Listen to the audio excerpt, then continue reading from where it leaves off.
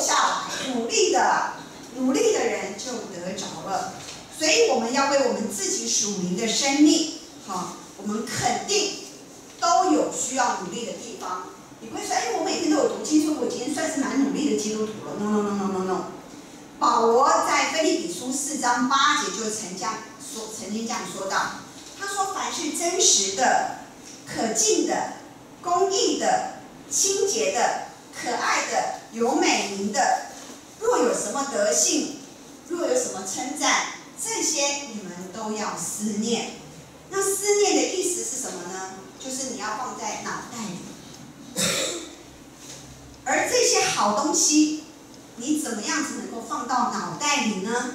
我告诉你们一个诀窍，你呀，每天就背一节圣经，不要多，背一节就好了。我每次这个动作的时候，我都会想到韩国语，说你只要会一个曲棍球就好了。好，弟兄姐妹，你只要背一节圣经就好了。如果每一天我们早上按时读经祷告的话，可以说那一整天的时候呢，我们已经得胜了一大半了。记不记得上帝他给以色列人所使用的玛纳是在什么时候赐下的？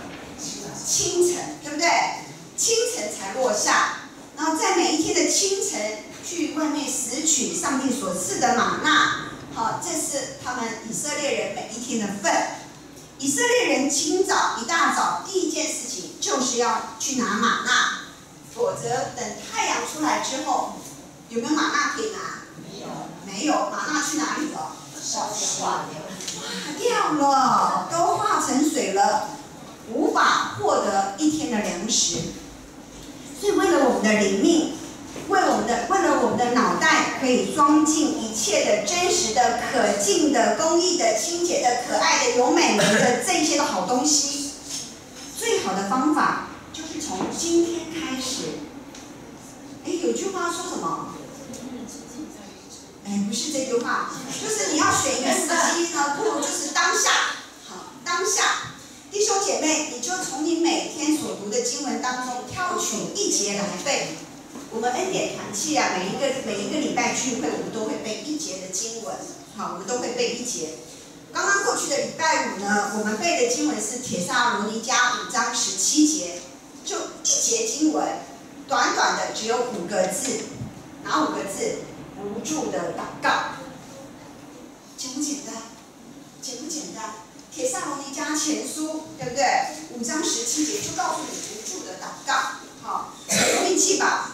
每天不要多一节的经文，把它放在我们的脑袋里，久而久之，你里面装的就是好东西。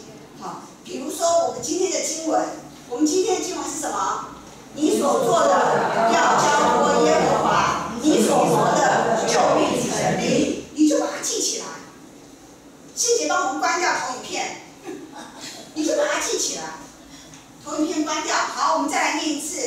你所做的要交托耶和华，你所活的就必成立。今天荣传道讲了一堆废话，你都不要记得，你回去就把这一节记得，你给哪里的问你今天就稳了。每一天你只要想到这句话，还有《铁上罗尼迦五章十七节，什么无助的祷告，光是这一句、这两句，你这一生受用无穷。好，所以我们要记得，好，如果我们每天读、每天读，圣灵就会在我们的里面工作。我们就好像把自己当做一棵树栽在溪水旁，不但你的叶子不会枯干，你还能够按时结果子。也就是说，你属灵的生命里面，那个生命必然是有好东西在里面。总而言之，人不是在任何地方都能够得着属灵的祝福，只有在神的里面，只有在神的话里面，你才能够得着神的祝福。神能使我们所做的一切，因着你里面都存着神，里面都存着神的话，你就能够蒙他的赐福。第二，要为自己，对不对？为自己的健康，为自己的灵命，哈。那第二呢，我们应当要做什么呢？就就是为我们的负担，好，为我们的负担，为我们的负担祷告跟交托，然后什么事情、什么人一直让你牵挂，那个就是你的负担。哪一件事情、哪一个人，你一直都挂在心上的，那个就是负担。你就要为这个人，就要为这个事情来祷告。尤其是当你感到力有不逮，什么事都做不了的时候，你不要忘了，你一定可以做的就是祷告，为你心上的人跟事情祷告，祷告，祷告，再祷告。重要的事要说几遍？三遍。祷告魔鬼，祷告能够释放罪人。祷告能够医治疾病，祷告能够看见神迹。我们家的青少年上礼拜分享，他们被噩梦，甚至于被一些不好的东西拍咪啊，好给缠住。所以祷告能够做什么？捆绑魔鬼。好，所以我们要知道，祷告能够改变外面的事，祷告也能够改变人的内心。使污秽变为洁净，使软弱变为刚强，黑暗变为光明。如果你身边的人有人处在黑暗中，你为他祷告，求神的灵将他从黑暗当中带进神儿子的光明里面。当你什么事都不能够做的时候，你仍然可以求告我们的神。圣经当中有很多关于祷告的应许。使我们的祷告不会落空，成为无用。所以，你若对什么有负担，你就起来认真的祷告，努力的交托。第三，是为我们的道路。我们，我们很多人，很多人常常在啊基督基督徒的当中，常常常搞不清楚说什么叫道路。下面这个道路是那个中原路，那在研究院路嘛？哈，不是这种道路。我们将要去的地方，我们将要往的方向，我们将要做的决定，那个就是我们的道路。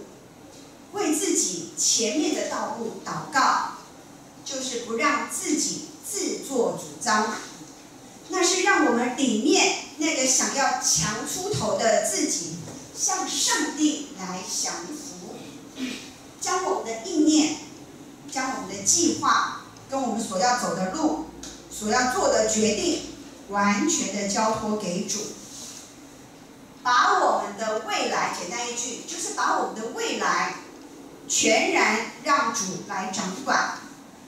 当你觉得你的人生似乎到了无路可走的时候，当你感受似乎已经走在一个十字路口的时候，弟兄姐妹，你要记得。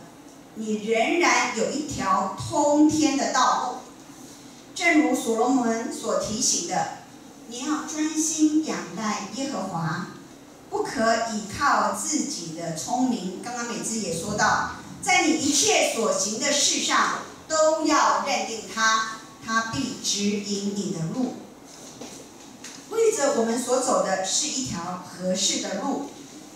为着我们所走的路，我们要去的地方，我们要做的决定，是在主完美的旨意当中进行。我们要祷告，求主帮助我们调整脚步，行在他为我们预备的道路当中。当我们行进的时候，当我们真的走上去的时候，我们也许会感到困惑：我所走的，我所我所做的决定是对是不对？我们不要试着搞懂、弄清楚每一件事情、每个问题，尤其我们不要让感觉，我们不要让我们的心情，好来决定我们该向左或向右，因为感觉、心情，甚至于你的情绪，就像温度计一样，有高低起伏的时候，所以不要让我们的感觉。不要让我们的心情、情绪来引导我们，来主宰我们，成了我们的人生指南针。永远不要像那首歌讲的说，跟着感觉，跟着感觉走，感觉不能够成为我们人生的指南针。我们要求主帮助我们，指引我们走我们该走的路，然后信靠他的带领。我常常觉得，当我祷告了，我走上去了，我做了决定了，无论那个决定是好是歹，我一点不在乎，即即便那个结果好像觉得哦，好像好像不如预期，或者让我失望，我都相信那是上帝的带领。最终，那个传道人说，传道书说，最终我开始的时候是微笑，但是最终的时候呢，我会变得伟大。所以呢，开始的时候看起来好像不如意，不如理想，不如期待，但最终我会看到上帝的美意。所以最后，你为了道路祷告以后，你也要为工作。哎，有人就说道路跟工作有什么不一样？道路工跟工作当然不一样。好，关于工作，我要说的应当一边努力，一边交托，越交托越努力。不要像那个要考一百分的考试的小孩子一样，然后祷告了，然后以为交托了就放一百二十个心，然后就不努力了哈。我们是越交托越努力。在工作上，每个人肯定都会有瓶颈、有倦怠的时候。弟兄姐妹，当我们在工作上出现了消极的态度的时候，我们要这样祷告。你们要注意听喽。我们要跟主这样说：主啊，我要将我的软弱、局限跟缺点都交在你手中，并求你让你的能力在软弱的我身上显得完全。恳求主住在我里面，也帮助我住在你里面。愿你带领我的心。